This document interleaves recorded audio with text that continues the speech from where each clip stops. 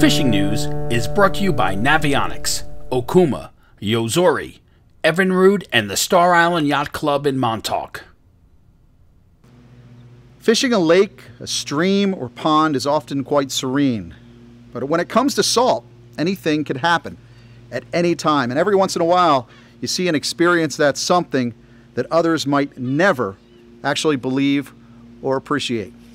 I'm Jim Hutchinson with the New Jersey Delaware Bay edition of the Fisherman Magazine. My friend Guy Buono sent that video on Wednesday morning. Big bluefish tailing on the Raritan. The former Dreamboat winner said there are a few Dreamboat blues in that mix. A lot of folks wondering where the bluefish have gotten to. They're there, you just got to hunt for them. And they're still in the mix, and that's good news for folks looking to bend a rod. Bluefish always an exciting opportunity. Smaller blues uh, throughout Barnegat Bay here uh, chunks along the open beaches, taking some fish. We're here mostly four to six, a few smaller bluefish, waiting for them to come up into the Toms River. But again, those big tailing blues up on the Raritan, definitely a good sign. I'm here at Camp Lighthouse Center in Barnegat today, where this week the uh, Fishhawks has a really cool event planned for Saturday. Of course, Fishhawks they're a club in Southern Ocean County. They've been around since 1977, 180 to 200 members. It makes them one of the largest clubs that I know of. But this Saturday here at Camp Lighthouse, they've got a Veterans Kids event. They're taking kids of veterans from the local bases, the joint bases, along with some local scouts. Treat them to breakfast here at Camp Lighthouse in Barnegat. Uh, and then it's a day of fishing. Uh, casting demonstrations, filleting fish demonstrations, fish ID, uh, crab and terrapin demo, demos, boat safety, a very cool event. It's all the Fishhawks members with some financial help from Exelon, a very cool club. You want to learn more about that, go to fishhawksnj.com, but I'm sure it's going to be a great event here in my stomping grounds on the Barnegat Bay. Now, I mentioned video of bluefish. Of course, there's one video that blew up the internet this week, got a whole lot of national attention as well. Jeff Crilly and the Big Nuts Required, or BNR crew. They were out tournament sharking when they estimated what looks to be a 16 foot great white came up, made a little show, and took off with their chum bag. Got on national news this week. BNR, uh, good shark fishermen, they were one of 10 boats out again on Wednesday for Mako Fever.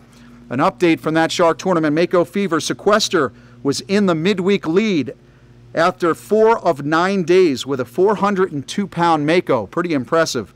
The crew of ACX Cape 2 leads in the Thresher category with a 148 pounder. Of course, Mako Fever continues every day this week all the way through Sunday. That tournament is nine days, and with the weather forecast we had for the last several days, that was a good move. Meanwhile, Mako Mania picks up again for day three and four on Saturday and Sunday. Sequester also in the lead with their Mako there.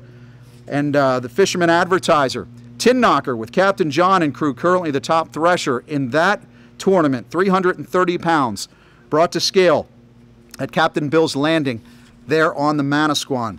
Now, looking ahead towards this weekend, I always dare to bring up any weather forecast, but according to NOAA's offshore weather forecast for the midweek, from the Baltimore to the Hudson, looking pretty sloppy for most of this week, 4 to 8s, 3 to 6 Friday and Saturday. But I'll tell you what, Sunday looks terrific offshore as of the midweek forecast from NOAA. So it should be a pretty exciting scene at both of these scales on the Manasquan right before the tournament buzzer sounds on Sunday afternoon. You might want to go check that out. Could be pretty exciting with all these boats on the uh, shark grounds this weekend. Now, in addition to blues and a few keeper stripers and a pick of uh, keeper fluke, in the central Jersey Wash. Black Drum invaded Island Beach State Park last week, just about on the full moon for this week.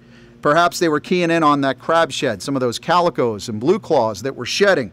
But the Seaside Island Beach week long drum invasion, the blitz was epic last week. Definitely one for the books as clam slingers checked in with Grumpies, Betty and Nick's, Dock Outfitters, and the Hook House as well. It seemed to be mid to late week into the weekend, through the weekend. In fact, fisherman contributor, contributor Ed Masunis clammed one up on Father's Day. Again, like I said at the start, when you're fishing in the salt, one never knows. Again, that Black Drum Battle, the Fisherman Magazine's uh, two month long tournament It continues through June 30th. And right now, Bob Hoff is in first, Luke Dombrowski in second. These two guys look like they're in the driver's seat right now in that black drum battle. You still have a couple of weeks to register one of those big boomers. You also have a few days left to get in on that good limit of black sea bass in New Jersey. That 10 fish limit will come to a close at the close of business on Saturday afternoon. Now, many boats, like the last lady out of Neptune, have been finding a good mix of good sized sea bass as well as outstanding ling fishing out there as well. We're getting some real good reports of ling. Uh, some folks are heading to the mud hole just looking for ling. But it's been a pretty good season, and I guess the ling will kind of contribute to our bag once the sea bass closes. And a lot of these party boats along the Jersey coast will turn their attention from sea bass onto fluking and also picking up a few of those ling as well. Now, down in Cape May County, we're still getting good weak fish reports. In fact, young Charlie Nicholas here of Quarryville, PA, he had a 24 incher on a bass assassin at Cape May Inlet the other day, checked in with the folks at Grassy Sound Marina. Mentioned the shed coming to an end. Uh, checking with uh, with David Absecon Bay. I think he's out of shedder crabs, but I'm sure he's going to shed some more. But I'll tell you, if you can't find the shedder crabs or the peelers, you know, definitely want to soak some of those lures, those bucktails, or even soak strips of squid in Finessence shedder oil. Those game fish just love that. Now, Grassy Sound has a flounder tournament, a, fluke tournament if you're north of Barnegat here, but a flounder tournament um, coming up next weekend. It's the 13th annual event for the folks at Grassy Sound. That's next Saturday. You can check in with Grassy Sound Marina for all the details on that back bay summer flounder event. Of course, uh, summer flounder have been kind of slow pickings to get this uh, season started. Maybe it's the rain or some of these cooler nights. I know the colder water conditions are impacting this bite a little bit. Have spoken to a couple of spear fishermen who were working in Manasquan and Barnegat. They say there are quite a few fluke in there, but they just seem to have lockjaw. So we just need a couple of days of good warmth. And uh, who knows? I know Josh know. Josh know of In the Know Charters. He knows. He says there are some good fish in Wildwood waters. So definitely it's bound to happen at some point. A lot of folks working some of those shallower edges uh, to find out where those fluke are. And again, hopefully they'll turn on pretty soon. What has turned on is the offshore bite at some of those southern canyons, thinking of the, uh, the Wilmington and the Baltimore, where some of the Cape May fleet and the Delaware fleet is enjoying some good fishing. Offshore in Atlantic City, said a crew of the Aquaholic, they found tuna to 109 pounds in those southern canyons earlier this week. With all of this salty variety, inshore, offshore, and by land, there are certainly some freshwater options in New Jersey and on out to the Poconos as well. So let's check in with our Pocono report with George, our Pocono Outdoors guy.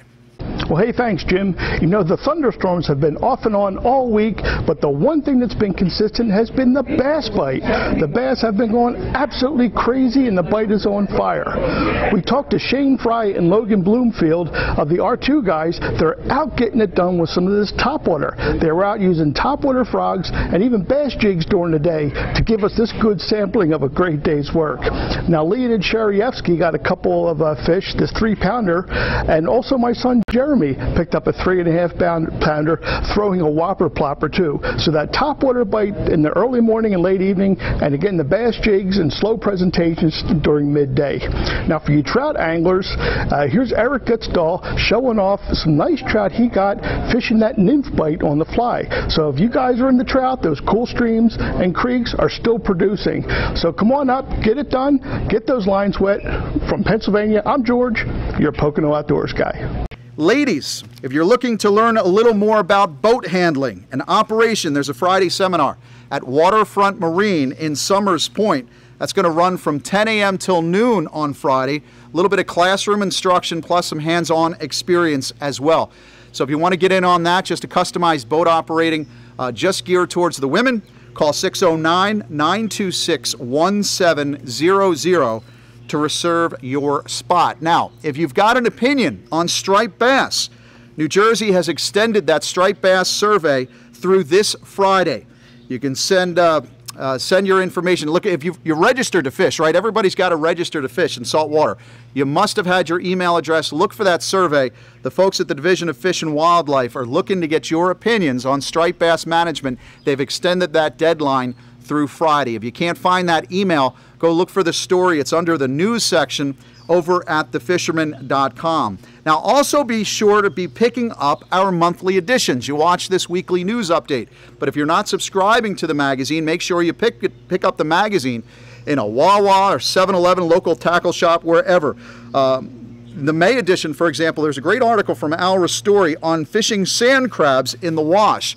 Now, I know Delaware surfcasters have been doing this for striped bass for many years um, have had great luck with sand crabs or sand fleas, and Al has been telling me that he's been fishing the northern ocean, southern Monmouth County beaches of late, catching some striped bass on sand crabs. That's in the May edition. Of course, our June edition is what you'll find on newsstands right now. And right now, the sheep's head are in. We're getting more and more sheep's head reports in southern New Jersey. Bob Mesak, field editor, editor at the Fisherman Magazine, has a terrific article about targeting those sheep's head. So be sure to look for the June edition as well. Good luck for you tournament sharkers continuing through this weekend. And here's hope that fluking turns on in Barnegat Bay, Great Bay, Manasquan, wherever you might fish, all the way down into Cape May County. And good luck to the folks at Fishhawks this week. I'll be signing off here at Camp Lighthouse Center here in Barnegat.